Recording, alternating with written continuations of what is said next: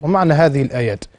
فربنا يقول في القرآن الكريم إن الذين قالوا ربنا الله ثم استقاموا. قالوا ربنا الله. ربنا أي الحق سبحانه وتعالى المتعهد بالربوبية.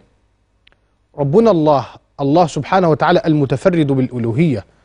فالاستقامة يا سادة الاستقامة هي لزوم الطاعة. لزوم الطاعة. والإئتمار بما أمرك الله سبحانه وتعالى به والبعد عما نهاك الحق سبحانه وتعالى عنه. يعني لزوم الطاعة والإئتمار بما أمرك الله سبحانه وتعالى به والبعد عما نهاك الحق سبحانه وتعالى. ولذلك ربنا يقول إن الذين قالوا ربنا الله ثم استقاموا تتنزل عليهم الملائكة ألا تخافوا ولا تحزنوا. وأبشروا بالجنة التي كنتم توعدون.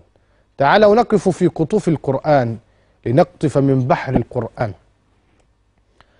إن الذين قالوا ربنا الله ثم استقاموا أورد العلامة القرطبي في تفسيره حاكيا عن سيدنا عبد الله بن عباس رضي الله عنهما حبر الأمة وحبر وترجمان القرآن.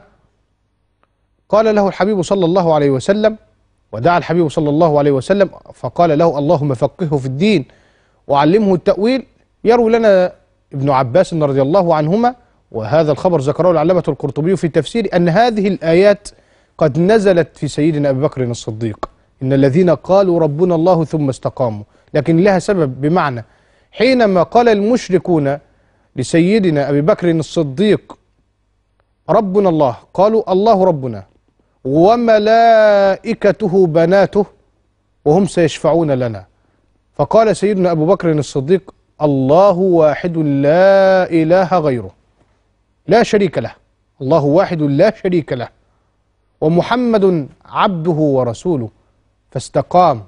فنزلت هذه الآية إن الذين قالوا ربنا الله ثم استقاموا تتنزل عليهم الملائكة ألا تخافوا ولا تحزنوا وأبشروا بالجنة التي كنتم توعدون. ومن هذه الآية نسير حول ثمرات هذه الاستقامة.